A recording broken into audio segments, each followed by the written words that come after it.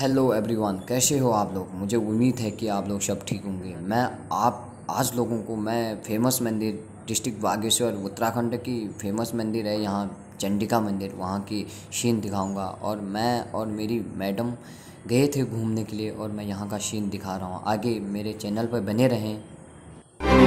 आधी है रह गुजर, आधा है आसमां, आधी है मंजिलें, आधा जहाँ हूँ जान ले रू मुझसे बाँध ले, बाहों में थाम ले, कर दे ज़िंदा। हर्षे में तू, चप्पे चप्पे में तू, ख्वाहिश में तू, किस्से किस्से में तू, हर जिद में तू, फिक्रों, जिक्रों में तू।